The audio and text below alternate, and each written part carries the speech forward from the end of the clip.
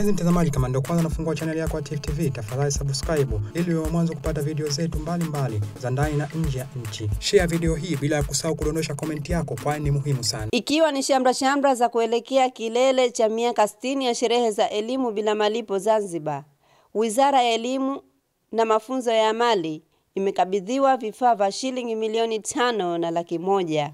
Akipokea vifaa mbalimbali vya kufanyia usafi maskulini huko katika ofisi za wizara hiyo, naibu waziri wa elimu na mafunzo ya amali Zanzibar, Mheshimiwa Ali Gulam kutoka chuo cha Zanzibar School of Health, ikiwa ni shamra shamra za kuelekea kilele cha miaka 60 ya sherehe za elimu bila malipo, ameushukuru uongozi wa skuli hiyo kwa kuunga mkono juhudi mbalimbali mbali za serikali hasa katika sekta ya elimu. Nichukue nafasi hii kuwashukuru uongozi wa Zanzibar School of Health kwa mchango huu ambao umetuletea sisi kama Wizara ya Elimu.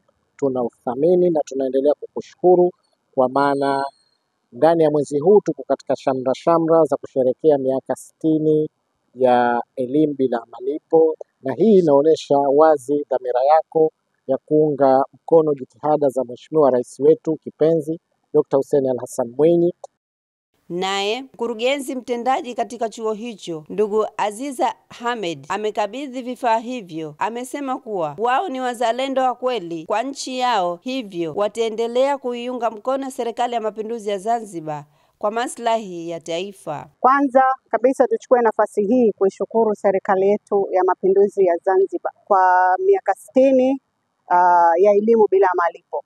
Tulofaidika ni wengi, nikiwa mmojawapo. Sisi kama Zanzibar School of Health tunaunga mkono jitihada hizi na tunaunga mkono kwa njia nyingi, na mojawapo, kwanza kabisa tunadumisha usafi, na katika kuunga mkono hilo tumekuja kukabidhisha vifaa hivi vya usafi.